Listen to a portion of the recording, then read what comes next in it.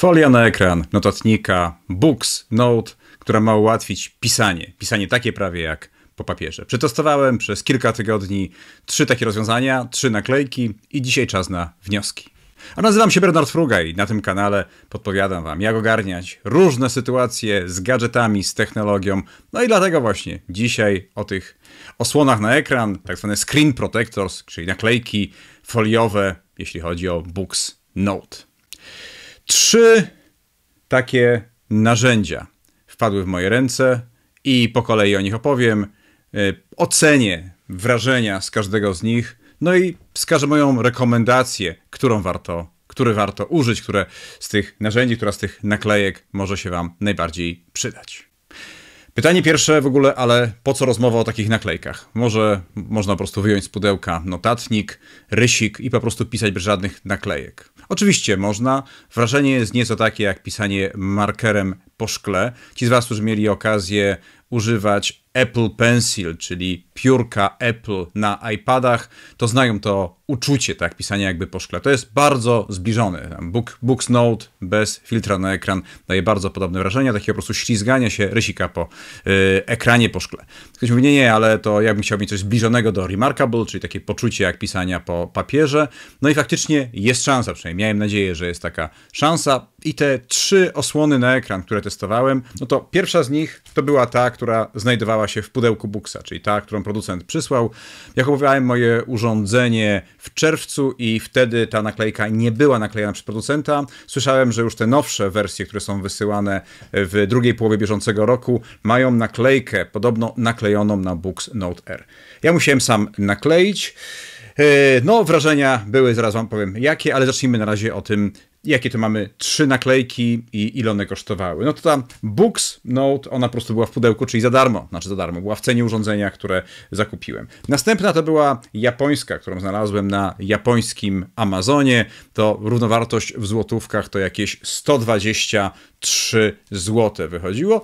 Natomiast ta trzecia to włoskiej firmy Dudru, ona kosztuje wraz z wysyłką do Polski 180 zł. Także można powiedzieć, chodzi o e, ceny. Jeżeli ktoś wynajdzie, to kosztuje, no tak, zacznijmy od tej darmowej, którą dostajemy od producenta, poprzez taką, którą dostajemy, którą możemy kupić na e, Amazonie japońskim, do tej dudru włoskiej. Czyli tutaj, jeśli chodzi o to, ile to kosztuje. Ale można powiedzieć, jeżeli kupujemy na urządzenie, urządzenie kosztowało ponad 2000 zł, więc tutaj można powiedzieć, nie zastanawiam się, że zapłacę 150 czy 200 zł, tylko chciałbym mieć dobre wrażenia. No to która z tych trzech folii dała najlepsze e, wrażenia. E, po kolei, na początku używałem tej, która była przysłana z buksem. Ona moim zdaniem poza tym, że dawała odrobinę takiego poślizgu na ekranie, to była najbardziej oddalona od wszelkich przyjemnych odczuć pisania. To w ogóle nie było poczucie pisania jak po papierze. Natomiast potem, gdy sfrustrowany tą naklejką Booksa zakupiłem tą japońską na Amazonie japońskim, to możemy powiedzieć, zarówno ta japońska, jak i ta włoska, bardzo podobne wrażenia pisania. Ja bym wręcz powiedział, że są to wrażenia pisania bardzo zbliżone do tego, co pamiętam z ostatnika Remarkable drugiego. Natomiast nim te folie znalazły się na ekranie mojego notatnika, no to była potrzeba ich zainstalowania. E, Books wrzucił do e, Onyx Books, wrzucili do pudełka po prostu tą folię, no i człowieku radź sobie. Próbowałem sobie jakoś poradzić. Naklejki wprawdzie były dwie, więc jedną zniszczył, miałbym jeszcze drugą, ale bez względu na jak próbowałem zawsze, jakieś okropne bąble pozostawały pod e, folią, między folią a ekranem i w ogóle nie schodziły. Także tutaj fatalne uczucie, jeśli chodzi o naklejanie, bez w zasadzie żadnej instrukcji, bez żadnej pomocy. Ta folia japońska Przyszła wprawdzie z instrukcją, ale z instrukcją po japońsku. No trudno się dziwić, w końcu kupowałem na Amazonie japońskim, był to produkt pod rynek, pod rynek japoński, więc była tam instrukcja, którą przy pomocy Google Translate'a po prostu tłumaczyłem i byłem w stanie nakleić. Zapasów wprawdzie nie było, tylko jedna folia była w pudełku, ale udało się ją całkiem dobrze nakleić, pod warunkiem właśnie, że śledziłem te instrukcje na instrukcji obsługi po japońsku. No i ta trzecia włoska Dudru. Bardzo dobre wsparcie, znaczy zarówno masę tych materiałów potrzebnych do naklejenia e, tej folii, ściereczki, instrukcji obsługi, wideoinstrukcja obsługi, no i też zapasowa druga folia, w pudełku były dwie folie, w związku z tym na wypadek, gdy mi się pomylił, źle nakleił, miałbym drugą, także tutaj ewidentnie jeśli chodzi o to, jak to się naklejało, to bezkonkurencyjny. Dudru bardzo dobrze to zrobili.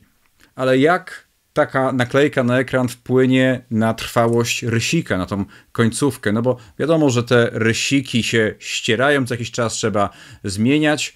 No i ta pierwsza, ta buksowa, w zasadzie ścieranie było niezauważalne. No, ona była tak śliska, że praktycznie nie dawała żadnego odczuwalnego oporu rysikowi, stąd ten rysik się prawie że nie ścierał. Pewno by się starł za rok, dwa czy trzy, ale w tak krótkim okresie paru tygodni to, to ścieranie było niezauważalne. Natomiast zarówno ta e, japońska, jak i ta włoska powodowały ścieranie rysika w bardzo podobnym stopniu. No, tutaj widzicie na e, ekranie, ile milimetrów miał ten rysik na początku, ile po dwóch tygodniach używania, bo wszystkich tych ekranów używałem po dwa tygodnie. Jak widzicie, tyle samo się zużył tutaj rysik i we włoskim, i w japońskim e, ekranie. Ja zakładam, że mniej więcej raz na miesiąc muszę tam końcówkę rysika po prostu wymieniać, używając tego typu naklejki. No i ostatnia kategoria, e, w której chciałem tutaj rzucić okiem na te ekrany, no to to, jak one wyglądają. Znaczy, jak wygląda nasz notatnik e, Books Note po naklejeniu tej naklejki. No, wrażenia z tej oryginalnej fatalne. To znaczy, wiecie, no, urządzenie, które jest ładne, które kosztuje ponad 2000, które kładziesz na biurku i widzisz tam po prostu masę bombli powietrznych pod folią, to, to nie jest to, czego oczekiwałem od mojego Booksa. Natomiast zarówno tutaj ten amazonowy japoński, jak i ten włoski Dudru. Sprzęt, te naklejki bardzo ładnie wyglądały, były bardzo ładnie nałożone, nie było żadnych bombli widać, one obydwa bardzo dobrze się e, nałożyły. Miałem takie odczucie, że ten japoński ekran troszkę bardziej zostawiał ślady na tym ekranie, potem należało po prostu ten, e, te, te, te, te ślady zdmuchnąć czy zetrzeć ręką. Ten Dudru wydaje się, że troszkę ładniej się ściera, ale to jest tak naprawdę minimalna e, różnica.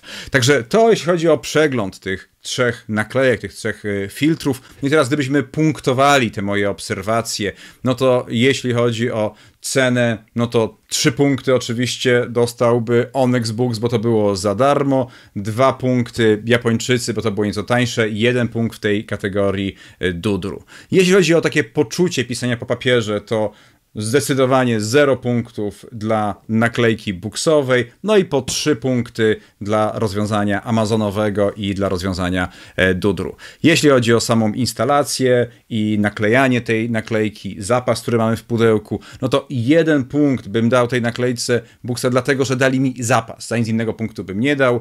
E, Japończycy dwa punkty, dlatego że instrukcja była, ale pod ich rynek, tak, japońska, ale tylko był jeden wkład w pudełku. No i trzy maksymalnie punkty dla Dudru, bo tam nie dość, że instrukcje były wspaniałe, no to jeszcze była zapasowa folia na wypadek, gdyby potrzeba było jeszcze raz ją nakleić.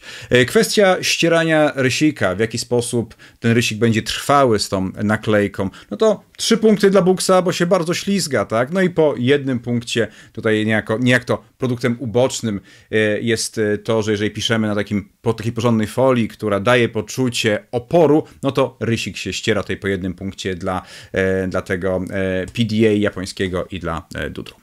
No i ostatnia kategoria to wygląd, jak to wyglądało, no to jak się domyślacie, no zupełnie zero punktów dla tej folii buksowej za te bąble, które były, dwa punkty dla PDA Kobo, dla tego japońskiego rozwiązania i trzy punkty dla e, Dudru. I teraz gdy patrzymy na podsumowanie, no to ranking wygląda następująco, że suma summarum z tego mojego zestawienia 7 punktów poszłoby na ekran, na ten screen protector oryginalny buksowy, 10 punktów do PDA Kobo, PDA Workshop z Amazona japońskiego i 11 punktów do, do Dudru, także tutaj gdybym miał wskazać rekomendacje, to bardzo blisko między Dudru a tym PDA Kobo z Amazona japońskiego. Natomiast sądzę, że ten jeden punkt powinien być mocno przeważający z powodu właśnie tej instrukcji, tego wszystkiego, co jest wokół e, tego, tego filtru, bo mimo, że zapłacimy kilkadziesiąt złotych więcej, to mamy dużo większy komfort nakładania tego filtra. Potem używanie jest bardzo podobne. Jeśli już się zdecydujesz na ten filtr Dudru, czy może ten japoński PDA, bo wrażenia będą bardzo podobne, to czego możesz oczekiwać, jeśli chodzi o samo pisanie? Oto gdy tym swoim rysikiem, piórem dotkniesz ekranu Books Note'a. To jest bardzo subiektywne, bo gdy pytałem różnych znajomych, jakie mają poczucie, na ile im się pisze, różni ludzie różnie mówili, więc ja tutaj się podzielę moimi własnymi, osobistymi, subiektywnymi wrażeniami. Moim zdaniem, używając tego filtra razem z końcówką, która jest Wacomem firmy Wacom, filcową końcówką, albo końcówką Remarkable drugiego, bo moim zdaniem są bardzo podobne, to dla mnie to poczucie jest czymś pomiędzy pisaniem piórem wiecznym a ołówkiem. Tak, ja wiem, że pióro wieczne i ołówek po papierze piszą nieco inaczej, ale trudno jest mi powiedzieć, czy bliżej jest do pióra, czy do ołówka w tym pisaniu, ale jest to dla mnie dość dobre, dość naturalne pisanie.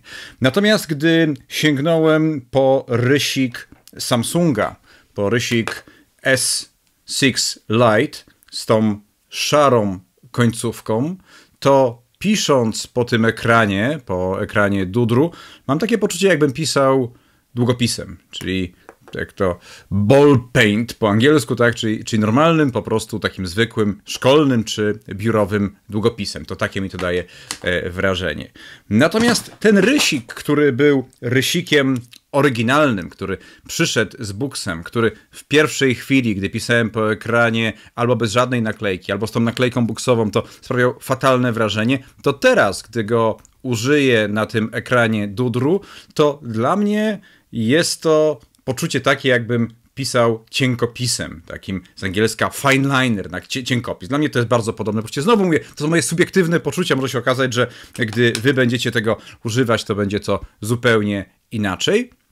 Natomiast zdarzyło mi się też próbować Norisa Digital, czyli firmy Stedler rysika i moim zdaniem zarówno ten rysik, jak i ten czarny, czarna końcówka SP na S6, czyli nie ta szara, którą używam, ale ta czarna, jak i ta oryginalna końcówka pióra Lamy EMR, ta końcówka okrągła, e, PC łamane przez EL, to one wszystkie dają mi takie poczucie, jakbym pisał takim piórkiem do rysowania. Ja mam takie tutaj piórka do, e, do rysowania, które gdzieś tam kiedyś nabyłem, gdy uczyłem się szkicować i to gdy piszę teraz na tym ekranie Dudru tego typu końcówką miękką, to, to tak jakbym takim miękkim piórkiem pisał. Także to takie, takie wrażenia. Znowu podzielcie się w komentarzach, jakie wy macie wrażenia, bo przypuszczam, że to, co dla mnie jest wrażeniem pisania piórem albo, albo ołówkiem, dla was może być czymś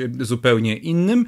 E, czy inaczej mówiąc, jest to tak, jakbyś pisał, pisała po papierze, Moim zdaniem nie jest to tak. Jest to zbliżone, ale tak jak z angielska te e, ekrany zwykle się nazywają paper-like feel, czyli poczucie jakby papierem. No i się wydaje, że dobrze to oddaje. Jest to poczucie, które przypomina nieco pisanie papierem. Także reasumując, moja rekomendacja jest taka, żeby nakleić filtr, nakleić tą naklejkę e, ułatwiającą pisanie na notatnik Books Note R, czy na notatnik Books Note 3, czy na inne noty, bo wiem, że naklejki są też na inne modele i cieszyć się pisaniem, które będzie dużo bardziej przypominać pisanie po papierze niż to oryginalne, bez naklejki po szkle. Mam nadzieję, że było to pomocne i pogodnie Was pozdrawiam.